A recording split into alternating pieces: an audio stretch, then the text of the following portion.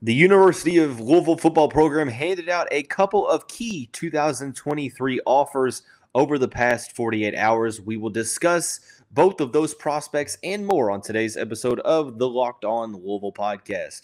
Stay tuned. You are Locked On Louisville, your daily podcast on the Louisville Cardinals. Part of the Locked On Podcast Network, your team every day.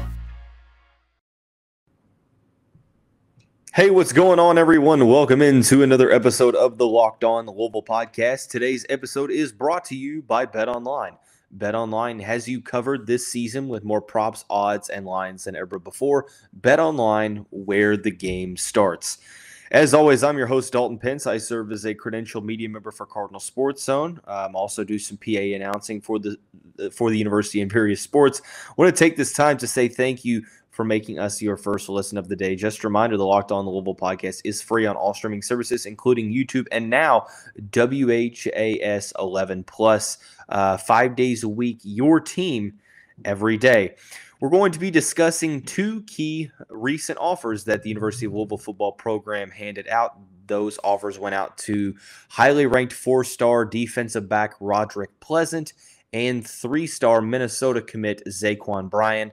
And then in the final segment, we will discuss 24 7 Sports uh, article that came out, the 2023 Freaks List, listing 50 of the freakiest college football recruits. A handful of Louisville uh, commits and some Louisville targets were included in that list. So let's start out uh, by discussing Rodrick Pleasant. Um, it is Friday, you all. Happy Friday. Um, we are just over a, a week away uh, until the uh, first game for the Louisville Cardinals. We're feeling good. Got the Locked On Louisville or Locked On Podcast Network merch on today. So I'm feeling good. Hopefully, you all are feeling good as well. First segment, like I mentioned, we're going to be discussing Rodrick Pleasant. Uh, Pleasant received an offer on Wednesday, I believe, from the Louisville program. He is ranked as the 82nd best prospect in the 2023 class, according to uh, 24 7 Sports, the eighth best at the cornerback position and the eighth best in the state of California. The Gardena, California native has picked up a ton of offers. Um, seemingly just in the past 48 to 72 hours, not only did he get an offer from the University of Louisville, but he received an offer from Miami um, at the end of July, got an offer from Wisconsin, uh, but is a player that hey, a lot of the top programs are after, and rightfully so. He is revered as possibly one of, if not the fastest player in the 2023 cycle. And you guessed it, he landed on the um, the 2023 Freaks list that was written by Andrew Ivins of 24 7 Sports. Um, I believe he landed at number 19. Is that right? Uh, yes. Uh, I'm going to read what Ivins wrote. Um, Gardena, California, uh, Junipero Serra cornerback Rodrick Pleasant is believed to be the fastest recruit in the class of 2023, and that's obviously good enough for a spot on the Freaks list. Back in May, Pleasant shattered a 37 year old California state record with a 10.14 in the 100 meter dash. A week later, he captured gold in both the 100 and 200 meter dash at the CIF finals. Pleasant might not be the biggest corner, but he knows how to put himself in position to make plays and opened up his senior season last week with a pick six. Boston College hosted Pleasant for an official visit back in June. He previously put the Eagles in a league group along with Oregon, USC, Penn State, UCLA, and California. Schools like Miami, Wisconsin, however, have since offered. Obviously, the Louisville Cardinals have made that um, that list as well in terms of the offers. Um, overall, just a big time recruit in the state of California that Louisville is looking to seemingly do the impossible and reel in another highly rated prospect for the Flyville 23 class, something that, you know, they have continued to build over the past couple months. And like I mentioned, when the Cardinals lost two key defensive back recruits in um, Martel Hight, who ended up committing to Vanderbilt, the four star prospect committed a couple months ago, and then uh, local Louisville High School um, product, um, Jeremiah Collins, who ended up transferring down to Tennessee to finish out his high school career. he decommitted from the program. I want to say in June. If not, it was early July, but I want to say it was June. So you lose two defensive back prospects. Um, and now you you have the opportunity to to go out and really really go get one of the best players in the country. I know that they've been after Cole Martin, the Oregon commit, who's just outside of the top 100. Um, you know, we're going to talk about Zaquan Bryan, another guy that they've recently offered, um, who's a Minnesota commit. But overall, this is going to be an uphill battle as everyone should prepare themselves for assuming that louisville can get in the mix here the the number one key thing uh, for the Cardinals. And this is kind of the prerequisite for me in terms of um, uh, really getting involved in a recruitment is getting that respective recruit on campus for a visit, uh, whether that's an unofficial or an official, uh, depending on uh, what class they are in.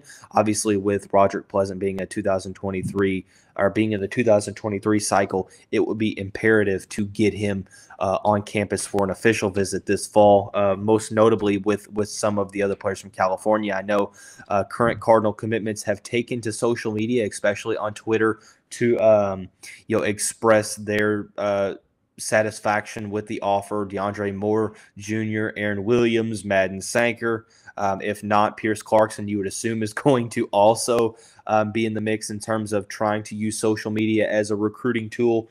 Um, but it, it's going to come down to being able to get him on a visit. And like I like I said, there is no shortness of suitors out there. You know, there's teams like UCLA, um, you know, Oregon, Penn State. He made the visit to Boston College. Miami offered, and uh, by judging, I don't like to put a lot of my nose is itching for some unknown reason. It's absolutely frustrating me. So I apologize for the uh, the distraction, but um, you know, you can't put too much into social media. But it seemed like uh, uh, Rodrick was especially excited about the um, the offer from Miami as well, in the way that you know Mario Cristobal and company have been recruiting down in South Beach. It's hard to dismiss the Miami Hurricanes at this point. So um, ultimately, like Ivan said, he's not the biggest cornerback out there, listed at five foot 11, 180 pounds. Um, but does a great job all over the field. Um, is is kind of a a gadget type of player in which they, um, you know, uh, Junipero Serra, I, I, hope I'm saying that right, uh, uses him in a multitude of different ways, both on the offensive end as a receiver, also in the backfield, um, and on special teams as a return man, but also as a defensive back, either playing, you know, in the in the um, in the slot or also out out on the boundary. Uh, so ultimately, when you watch his film at cornerback, not necessarily the biggest guy, but has a ton of athleticism and speed, which helps him. You know, uh, you know, being only five eleven, having that speed, or you know, he's not really getting burned down the field, right? So I know you have to backpedal. Uh, you know, there's a science to it. Uh, being a defensive back that makes it one of the toughest positions to be able to really perform at a high level. Uh, but he does a good job of uh, just contending with passes. Uh, does a good job of, of um, competing on 50 50 balls, uh, can high point the football really well for his size. And obviously, that speed is is something that you cannot overlook here. So it could be one of those instances to where he is immediately used as a return man wherever he goes. Uh, but this is a huge um, you know, recruitment that Louisville is going to try to get into. The big thing here that we need to focus on is can the Cardinals get Pleasant on an official visit? Um, you know, as seemingly as tough as it may be to go into the state of California to reel in some of these bigger recruits, well, they've done so so far. I mean, Pierce Clarkson, Aaron Williams, DeAndre Moore Jr., Jaleel McLean, Jamari Johnson, the list goes on. Um, so I'm not saying that it's impossible because they've shown that they've done it time and time again in this exact recruiting class. But it, I will say it's improbable just because of you know it's going to be hard to you, you, seemingly it's hard to take a west coast player out of the west coast so it's going to be hard to compete with you know ucla oregon you know penn state is a top program miami trying to get into the mix as well wisconsin um, he's taking a visit to boston college and who knows who else tries to get into the mix. So an uphill battle for the louisville cardinals but um, could possibly contend for early playing time right away. Um, the good thing is with the louisville cardinals you know jarvis brownlee jr quincy riley unless i either of them go to the NFL after this season, you know, both of those guys are looking like they are going to be, from what we're hearing in in fall camp, is that they're both looking really, really good, and um, you know they could be the starting cornerbacks uh, in 2023. So maybe you don't need a cornerback to come in and be a starter, but with the way that Louisville likes to play defensive backs all over the field um, in versatile situations, I think that Pleasant would be a player that could be in contention for immediate playing time, whether that be on special teams right away or as a slot cornerback and using his speed on some smaller receivers that have a ton of, of quickness. That's certain certainly going to help out because it seems like the um, instead of like the bigger receivers, uh, and that, and I mean that's still a um, you know a focal point in a lot of offenses, but it seems like um, there's a trend in college football and football in general to where the uh, the smaller, quicker receiver has never been more valued than they are right now in 2022, thanks to guys like you know Tyreek Hill and company. So um, you know having a player that is that fast that doesn't get burned on those deep routes because he's likely the fastest player on the field. Hey, that's big time news. Um, if the Louisville Cardinals were able to reel him in, but obviously going to be an uphill battle. The key thing to focus on here, if you're a Louisville fan, see if he is going to make a visit to Louisville. If so, I think that the Cardinals have a very, very good shot in this one. I think that they could definitely be into the mix, but at the end of the day, you have to you you know get a visit, in my opinion. So, uh, moving forward, another uh, prospect that they offered was three star uh, defensive back Zaquan Bryan, who is a current Minnesota commit. We will discuss, um, you know, what interests me about what Bryan brings to the table on the field here in just a second after we talk about our friends and the title sponsor of the show, Bet Online. BetOnline.net is the fastest and easiest way to check in on all of your betting needs. Find all of your favorite sports and events at the number one online source for odds, lines, and games. Find reviews and news of every league, including Major League Baseball, NFL, NBA, NHL, combat sports, golf, and esports. BetOnline continues to be the top online resource for all of your sports wagering information from live in game betting, scores, and podcasts. They have you covered. Head to BetOnline today or use your mobile device to learn more about the action happening today. BetOnline where the game starts.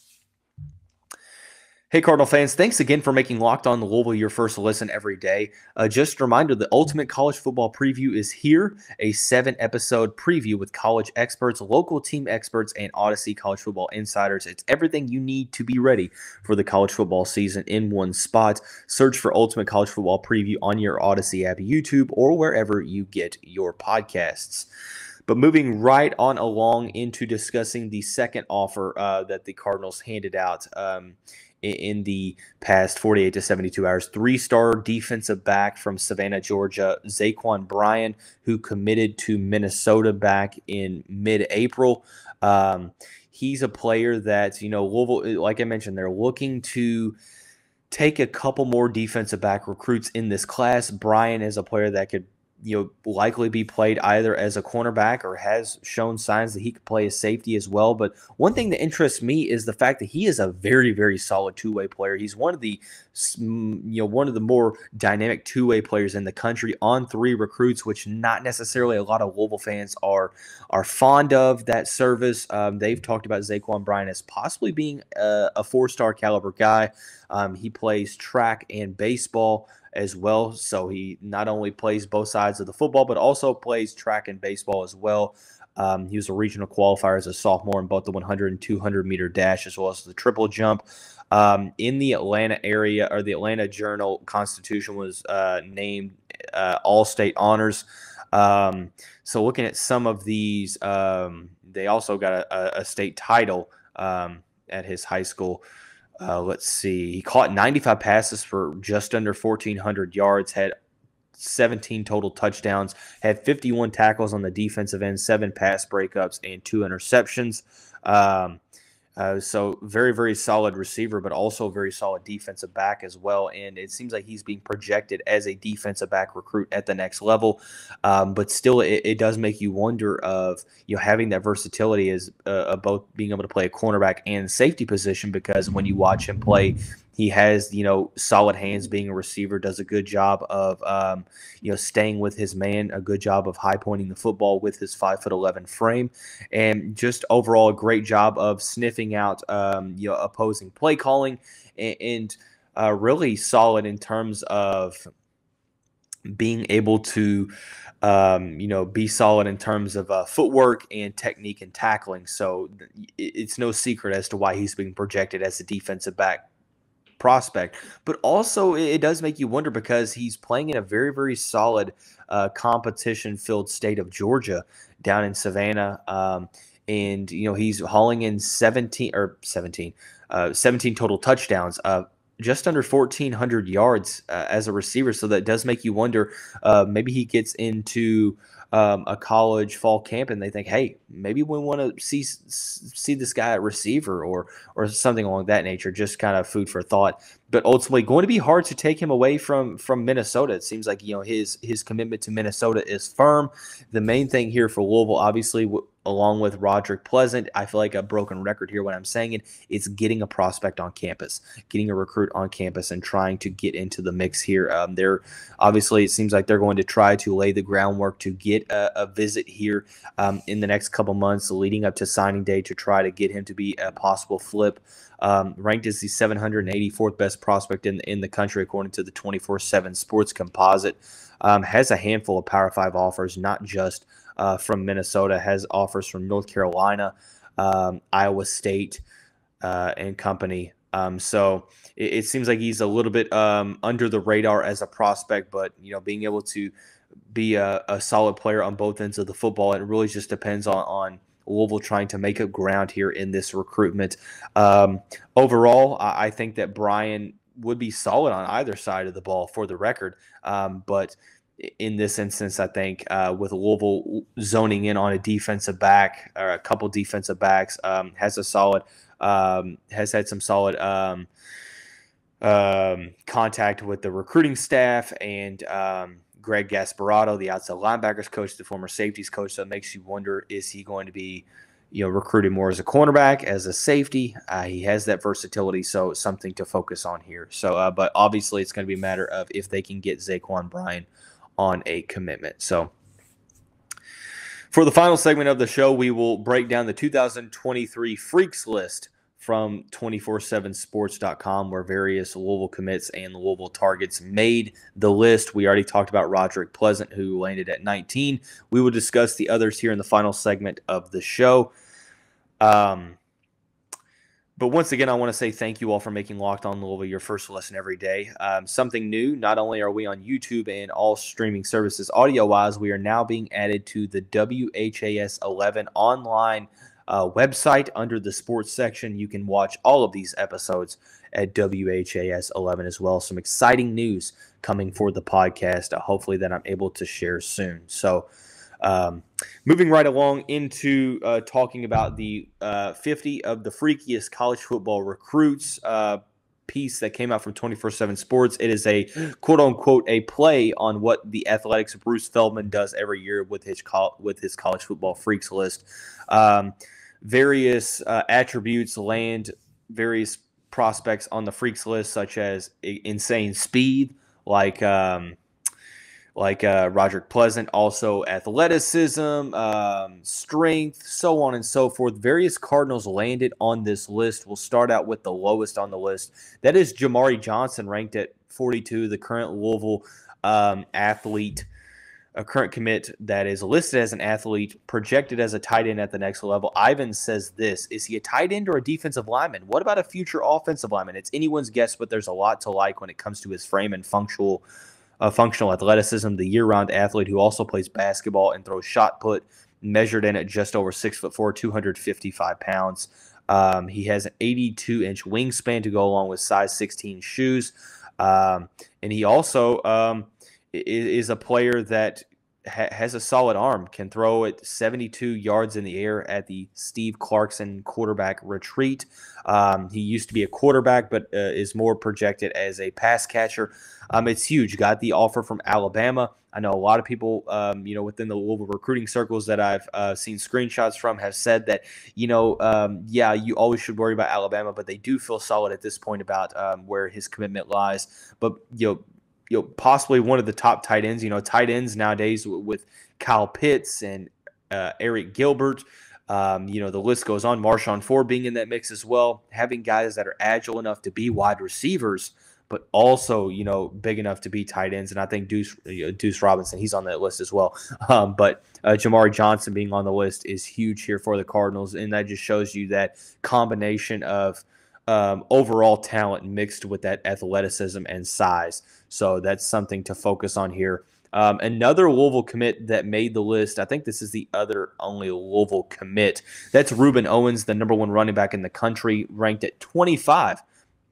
Uh, Ivan says, Hey, look, this guy was a, a, lock to make this year's list, right? He's a decorated track and field athlete with a pair of long jump bronze medals hanging on the wall. He's also managed to break the all important 11 second mark in the 100 meter dash multiple times. Um, he calls himself uh, the Black Unicorn on social media, has put some miles on the tires, having already rushed for over 5,300 yards at El Campo, but hasn't shown any signs of wear and tear and was an extremely difficult cover on the 7 on 7 circuit this spring and summer. A one time Texas commit, Owens shocked the world when he committed to Louisville back in June.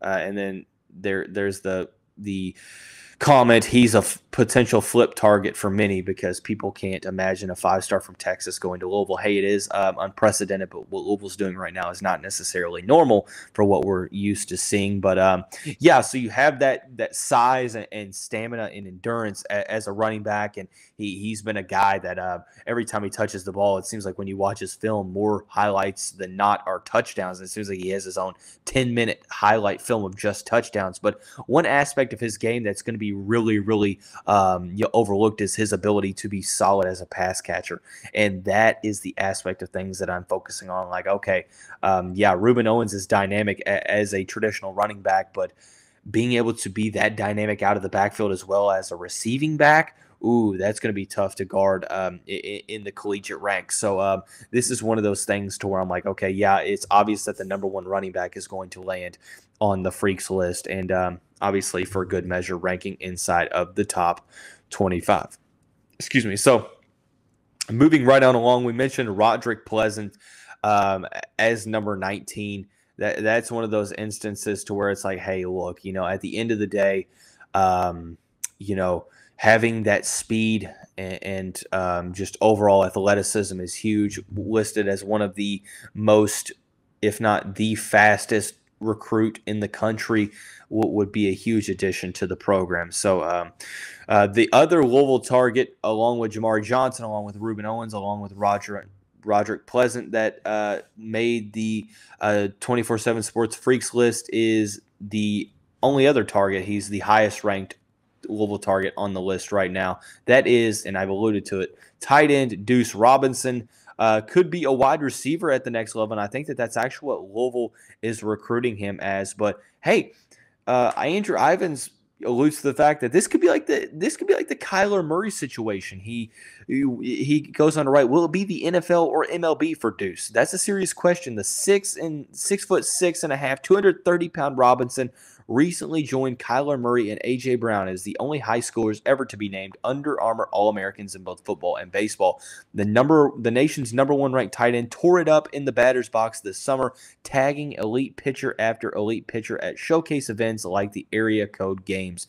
That has led to some Aaron Judge comparisons. While Robinson could very well end up making millions as an outfielder one day, he's expected to eventually just focus on football, which is why he didn't play baseball this spring at Phoenix Pinnacle in Arizona. Robinson has official visits set up with Texas, Georgia, and Alabama. He's already took one to USC.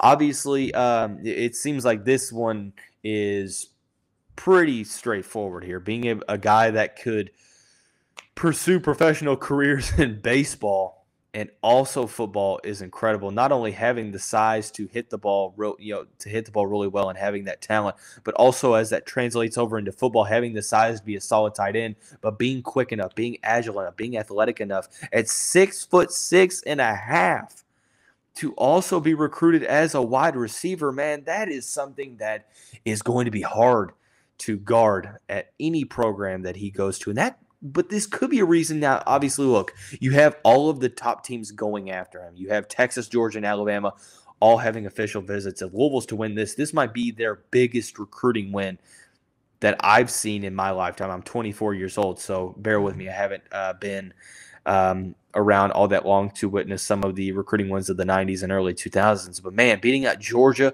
Alabama, Texas for the number one tight end in the country, a five star prospect. Obviously, maybe Rueben Owens could fit into that mix as well.